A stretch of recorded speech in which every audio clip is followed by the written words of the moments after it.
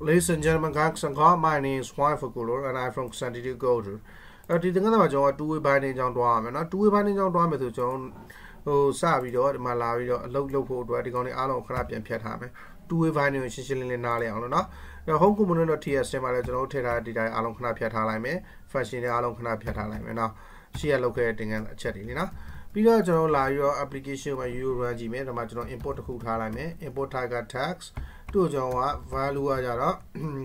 hello လို့ကျွန်တော်ထားထားမယ်နော်အဲ့တော့မှာလာပြီးတော့ကျွန်တော်တို့ဒီကောင်ခဏပိတ်ထားလိုက် two way bind နေ refresh လုပ်ခြင်း hello လို့ပြနေနေမယ်နော်အဝိုင်းနည်းနည်းများတယ်နည်းနည်းများတော့ကျွန်တော်ခွာခြင်း container ဆိုပြီးတော့ booster ရဲ့ container ကိုခေါ်လိုက်မယ်နော်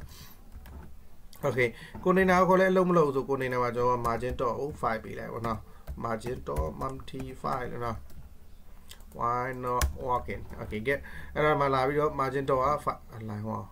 C1T ရန်ဒီက container margin တော့က5 margin တော့လည်းအလုံးမလုပ်ဘူးဆိုတော့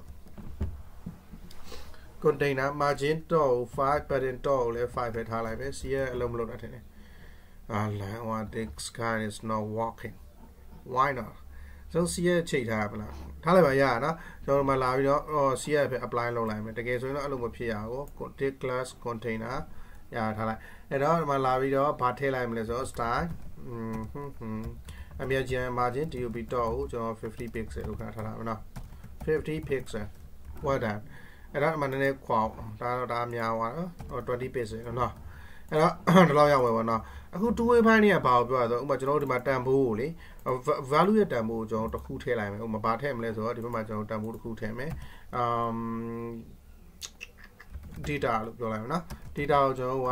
အာ str.ding static လို့ပြောလိုက်မယ်ဟုတ်ပြီနော်အဲ့ဒီ data static ကိုမှကျွန်တော်တို့ကဘာလုပ်မလဲဆိုတော့ single ကုန်းနဲ့ရေးပါတယ် single ကုန်းနဲ့ရေးပြီလားအဲ့ဒီ data static ကိုကျွန်တော်ဘာလုပ်ဒီဘက်ကနေလမ်းပြီး bind နဲ့လမ်းလုပ်မယ်လမ်းလုပ်မယ်ဆို hello ရဲ့အထဲမှာကျွန်တော်ဘာရောက်အောင်မလဲအာ hello ရဲ့အထဲမှာ data လို့ရောက်အောင်ပါဘောနော်ဟော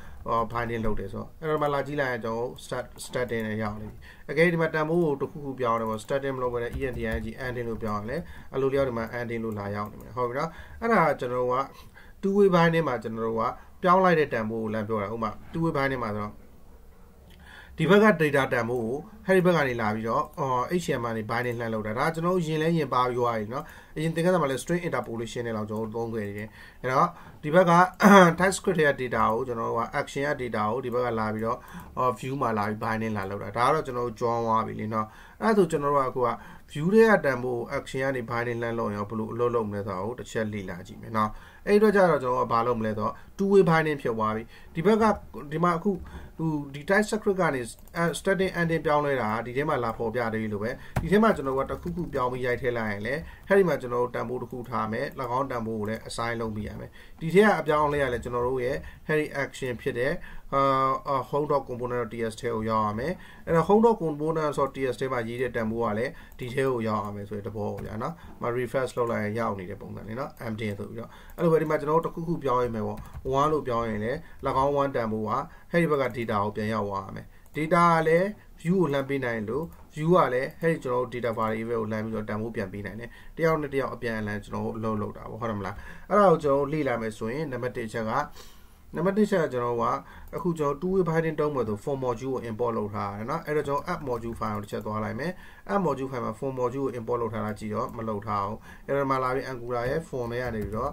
အာ form module ကို import လုပ်မယ် forms form module ဆိုပြီးတော့ angular ရဲ့ form ထဲကနေ form module ကို import လုပ်မယ်ပြီးရင်အဲ့ form module ကိုကျွန်တော်ဒီအောက်မှာလာပြီးတော့အာ pn routing မတိုင်ခင်ကျွန်တော်လာထည့်ပေးထားမယ်เนาะ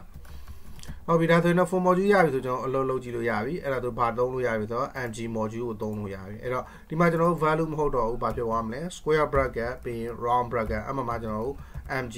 mod ရဲ့ model ကိုကျွန်တော်တို့စတုံးတာเนาะ mg model ကိုတုံးပြီးတော့ကျွန်တော်ကဘာလုပ်တော့မလဲဆိုတော့အဲ့ဒီ data ကိုတန်ဖိုးလမ်းပြီးတော့မယ် တော့တဲ့ဘာမှအပြောင်းလဲမရှိဘူးမိတ်ဆွေတို့တစ်ချက်လာကြည့်ကြည့်အစောအတိုင်းပဲအလုပ်လုပ်နေတော့မယ်ဟုတ်ပြီနော်ဒါပေမဲ့ NG model ကိုသုံးလိုက်တဲ့အတွက်ကြောင့်ကျွန်တော် two way binding ကိုအသုံးပြုလို့ရပြီ two way binding ဆိုတာဒီဒီထဲမှာကျွန်တော်တို့အခုဟိုဒီ input ထဲမှာဘယ် data ပေါ်အောင်ဟဲ့ data ဆိုရဲဒီဘက်က variable data လေးပေါ်နေတယ်ဟုတ်ပြီနော်အဲ့တော့ကျွန်တော်တို့က input ထဲကတန်ဖိုးကိုပြောင်းလိုက်မယ်ဒီမှာ1လို့ပြောင်းလိုက်မယ်ပြောင်းလိုက်ပြင်လည်းအဲ့1ကဘယ်မှာတွားရောက်နေရမလဲဒီဘက်ကကျွန်တော်တို့က data မှာလာရောက်နေရမယ်ဒီနေရာမှာ ending မဟုတ်တော့1ဖြစ်သွားမယ်ဟုတ်ပြီနော်ဟုတ်ပြီနော် အဲ့တော့နှစ်ဖက်အပြန်အလှန်မိခိုးတာပေါ့ဒီဘက်ကပြောင်းတာကလည်းဒီဘက် phone input ထဲကိုရောက်တယ်အဲ့တော့ input ထဲကနေလမ်းပြောင်းလိုက်တဲ့တန်ဖိုးကလည်းဒီဘက် data ထဲကိုရောက်မယ်အပြန်အလှန်ပေါ့နော် okay အဲ့တော့ကျွန်တော်လက်တွေ့တစ်ခုလုပ်ဖို့ဆို button လေးတစ်လုံးတော့တိဆောက်လိုက်မယ် button လေးတစ်လုံးတိဆောက်ဆိုတော့ BUTT BUTT 1 button ကျွန်တော်အရင်သင်ခန်းစာမှာလေ့လာခဲ့တဲ့ um app data ဆိုပြီးတော့အရင်သင်ခန်းစာမှာကျွန်တော်ဗာလေ့လာခဲ့လဲဆိုတော့ click function ကိုလေ့လာခဲ့ရနော်အမှ click event bind နဲ့မှာ click လုပ်တဲ့အခါမှာ app data လို့ကျွန်တော်ပြောလိုက်မယ်နော်အာ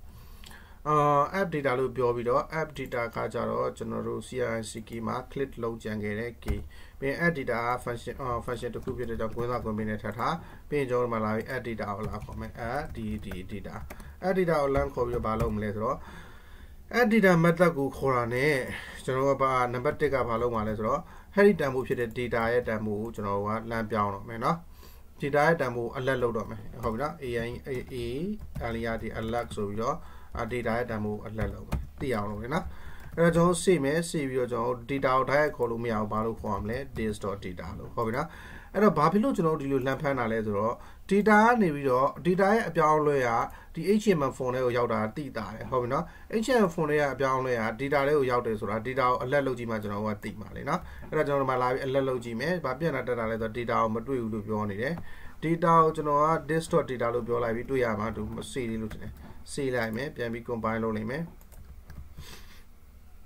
အာ DAT data တဲ့ဘာဖြစ်လို့လဲဆိုတော့ဒီမှာလာပြီး ng module မှာ DAT data add app data ဘယ်နေရာမှာလဲဆိုတော့ data 1နော် uh error in hv finding data cannot finding data did you mean the instant distort data okay ကျွန်တော်တို့မှာ distort data ကိုအလက်လောက်ခိုင်းတယ် DAT အဲ့ဒါကိုဘာပြဿနာတက်တာလဲဆိုတော့အဲ data ကိုကျွန်တော်ချက် double ကုန်းနဲ့ပြန်ရေးရအောင်နော် OI1 နော်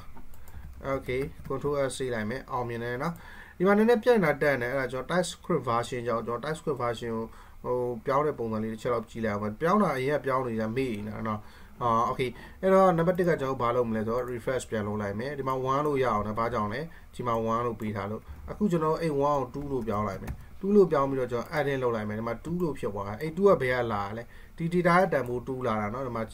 alert disk.data data ရဲ့တန်ဖိုး2လို့လာတာပြောချင်တာကကျွန်တော်ဒီမှာပြောင်းလိုက်တဲ့အပြောင်းအလဲကလည်းအဲ့ဒီ data ကိုလှမ်းရောက်သွားတယ်လို့နော်အဲ့တော့ data ထဲမှာကျွန်တော် STE က DNG statin လို့ပြောထားမယ် statin လို့ပြောရင်မှာ reverse လုပ်ရင် statin ရောက်နေလိမ့်မယ်ဟုတ်ပြီနော်အဲ့ statin ကိုကျွန်တော်က E ရဲ့ DNG ending လို့ပြောင်းလိုက်မယ် E and DNG ending လို့ပြောင်းလိုက်တာနဲ့အလိုလျောက် data ထဲမှာ ending ရောက်သွားပြီအဲ့တော့ကျွန်တော်တို့မှာ pattern လေးကိုတစ်ချက်နှိပ်ကြည့်လိုက် ending လို့လာပြနေလိမ့်မယ်နော် အဲ့တော့ two way ဘိုင်းနေပါဗျာเนาะတစ်ဖက်ကလည်းကျွန်တော်တို့ဒီဘက်ကပြောင်းလဲအပြောင်းလဲရလဲ input မှာကျွန်တော်တို့အလုပ်ဖြစ်တယ်လို့ input ကပြောင်းလဲအပြောင်းလဲရလဲဒီဘက် data မှာလာပြီးတော့မှတ်တမ်းတင်လိမ့်မယ်အဲ့တော့ပြောင်းနေတဲ့ဘက်ကပြောင်းတစ်ခုပြောင်းတာနဲ့နှစ်ခုလုံးရဲ့တန်ဖိုးကအဲ့တန်ဖိုးဖြစ်သွားလိမ့်မယ်ပေါ့နော်အဲ့တော့ဒီကနေ့တော့ဒီလောက်ပဲကျေးဇူးများတင်ပါတယ် one for ကိုလာပါ santi ကိုတော့